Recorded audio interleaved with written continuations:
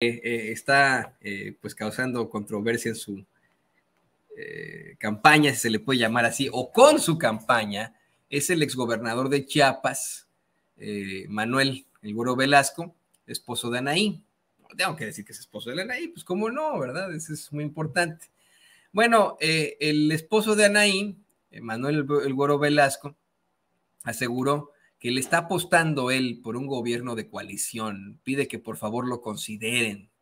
¿no? Dice que al iniciar su recorrido, eh, en busca de convertirse en el coordinador de la defensa de la cuarta transformación, esto, insisto, ¿no? Con la, con la finalidad clara de ser el candidato de Morena en las elecciones presidenciales, Manuel Velasco se pronuncia por construir un gobierno de coalición que incluya a quienes apoyan el proyecto de la cuarta transformación como él.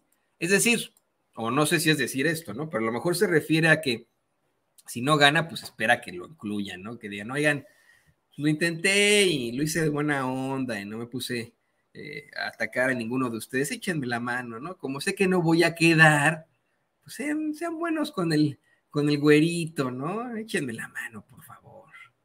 Eh, asimismo, aseguró que va, si lo eligen, va a fortalecer los programas sociales del presidente López Obrador. Esto fue lo que planteó el exgobernador de Chiapas y hoy nueva corcholata. Lo que nosotros buscamos es fortalecer los programas de la agenda de transformación que ha impulsado el presidente Andrés Manuel López Obrador, como es la pensión a los adultos mayores, las becas Benito Juárez para los jóvenes y los programas de apoyo para los discapacitados, pero llevarlos al siguiente nivel para reconocer a los buenos estudiantes con titulación gratuita, para apoyar a las madres solteras que cumplen la doble función de ser padre y madre a la vez, y impulsar una verdadera agenda verde donde vaya enfocada en la concientización y en la conservación de nuestros recursos naturales. No sé por qué, pero siempre que escucho a Manuel Goro Velasco me pongo a pensar en Enrique Peña Nieto o en Alfredo del Mazo. Fíjese, hasta esta forma en la que hace él sus eh, discursos, sus mítines, son muy parecidos a los de los antes mencionados, de los primitos, eh, los primitos Peña Nieto y del Mazo.